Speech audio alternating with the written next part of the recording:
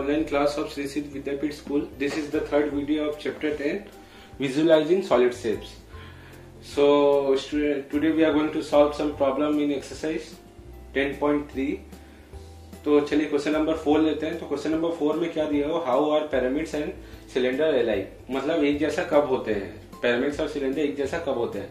और क्या दिया हुआ है? और एक सेकेंड क्वेश्चन है how are pyramids and cone alike मैंने पैरामिड्स और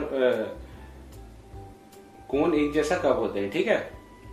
तो अब हम लोग पहले देखते हैं प्रिज्म और सिलेंडर।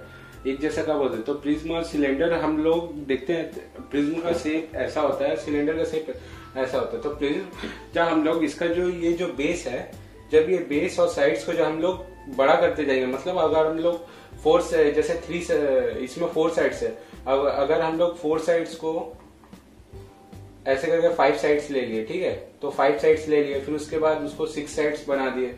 फिर ऐसे करके हम लोग इंफिनिटी नंबर ऑफ़ साइड्स हम लोग जब लेंगे तो ये कुछ समय के बाद वो कुछ ऐसा लगने लगेगा। प्रिज्म कुछ सिलेंडर का शेप में लगने लगेगा।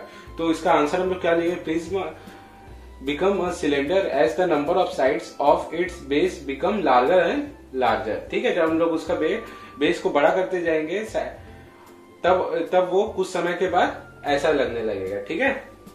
तो वैसे ही सेकेंड वाला क्वेश्चन क्या है? How are pyramids and cone alike मतलब पिरामिड्स और कोन एक जैसा कब होता है? तो ठीक है तो इसका हम लोग देखते हैं। इसका जब हम लोग एक पिरामिड लेते हैं तो पिरामिड एक और कोन एक जगह पिरामिड्स का शेप ऐसा रहता है कोन तो इसमें भी वैसे ही हम लोग जब इसका साइड्स और जो बेस है, उसको जब हम लोग बड़ा करते जाएँगे, और उसका जैसे अभी फोर साइड है, फिर उसके बाद five side six side infinity number of sides जब हम लोग लेंगे तो वो, उसके बाद, कुछ समय के बाद, वो ऐसा दिखने लगेगा, एक कोन के जैसा दिखने लगेगा, ठीक है? तो तब हम लोग का पिरामिड्स कोन जैसा दिखेगा। तो इसमें हम लोग क्या लिखेंगे? Pyramids become a cone as the number of sides as the as the number of sides of is base become larger and larger ठीक है? चलिए अब क्वेश्चन नंबर सिक्स में आते हैं। तो क्वेश्चन नंबर सिक्स में क्या हो रहा है? Verify universe formula for the solids तो इसमें हम लोग को सेम सेफ़ दिया है, एक फिगर दिया हुआ है तो उसमें हम लोग को वेरीफाई करना है यूनिवर्स फॉर्मूला तो उसमें क्या है? यूनिवर्स फॉर्मूला क्या है? Faces plus vertices minus edges is equal to two तो ये हमें वेरीफाई करना है, ठीक है? तो उसके लिए हम, पहले हमें फेसेस देखना होगा कि फेसेस क्या है। तो फेसेस मैंने आपको बोला था फेसेस किसे कहते हैं? जो फ्लैट सरफेस रहता है, उसे फेसेस कहते हैं। जैसे ये फ्लैट सरफेस है ये एक फेसेस है। तो वैसे ही ये है, ये एक फेसेस है one two three four five अब इसका जो अपोजिट, यहाँ पे तीन टो है तो ये वाला लाइन सेगमेंट से भी एक तो फेसेस गया होगा। तो ये वाला एक फेसेस हुआ और ये वाला इसका अपोजिट साइड जो है, वो भी एक फेसेस होगा। तो इसमें कितना? One two three four five और पीछे में सिक्स सेवन दो फेसेस यहाँ पे एक फेसेस होगा या यहाँ पे एक फेसेस हो? तो सेवन फेसेस है। ठीक है? अब वर्टिसेस किसे कहते हैं? तो वर्टिसेस हम लोग, जो ये पॉइंट रहता है, वो उसे हम लोग वर्टिसेस कहते हैं। तो वर्टिसेस कितने तो हम लोग देखते हैं। ठीक है?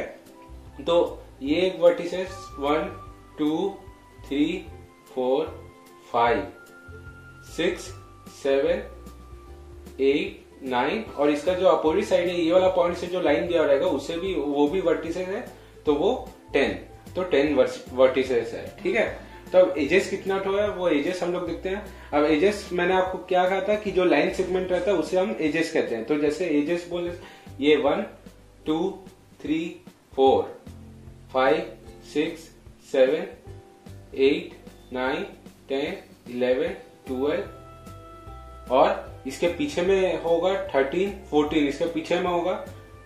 इसके जैसे यहाँ पे है, वहाँ पे उसके पीछे, इसका अपोजिट साइड में दो होगा। ठीक है? थर्टीन फोर्टीन और ये जो एक लाइन सेगमेंट है, वो भी एक वर्टिसेस होगा फिफ्टीन तो इधर फिफ्टीन एजेस है, ठीक है? तो हम लोग क्या करेंगे? अब इसे हम लोग वेरीफाई कैसे करेंगे?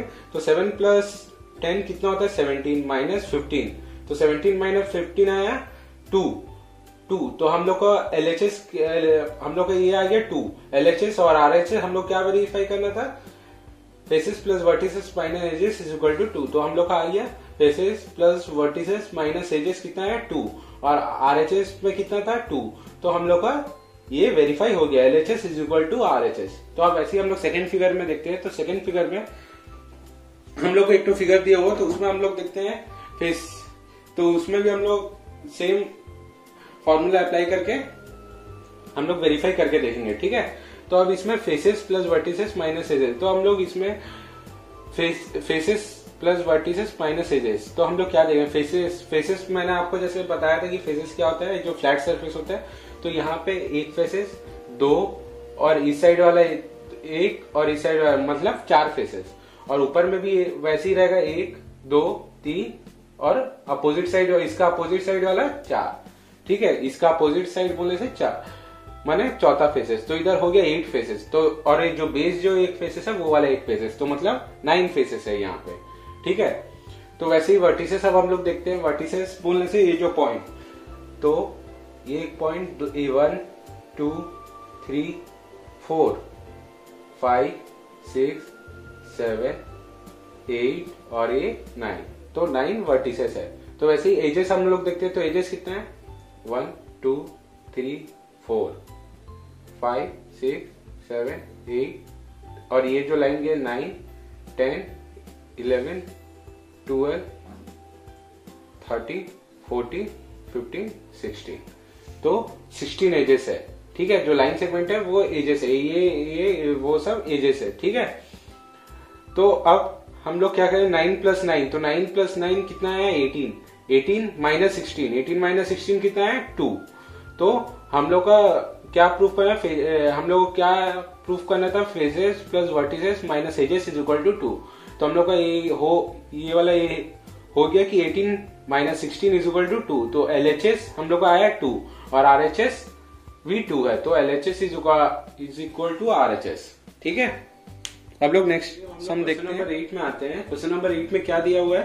Can a polyhedron have ten faces twenty edges and fifteen vertices तो इसका आंसर क्या होगा? तो हम लोग इससे को चेक कैसे करेंगे? क्या ये पॉसिबल है? तो इसको हम लोग चेक करने के लिए क्या करेंगे? फॉर्मूला से हम लोग चेक करेंगे। तो वो फॉर्मूला क्या है?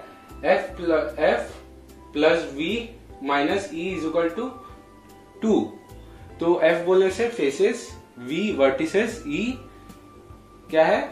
एजेस ठीक है? तो फेसेस हम लोग कितना दिया हुआ है? टेन दिया हुआ है। वर्टिसेस फिफ्टीन और एजेस ट्वेंटी दिया हुआ है। ठीक है? तो हम लोग इसको ten plus fifteen is equal to twenty five minus twenty ठीक है? तो आप ट्वेंटी फाइव माइनस ट्वेंटी कितना आएगा? फाइव आएगा तो five is not equal to two मतलब L H S is not equal to R H S तो इससे तो इसका आंसर होगा नो ठीक है? So this is the last question of this chapter and the last question of this exercise तो ये हमने कंप्लीट कर लिया, ये एक्सरसाइज इसके साथ हमारा कंप्लीट होता है।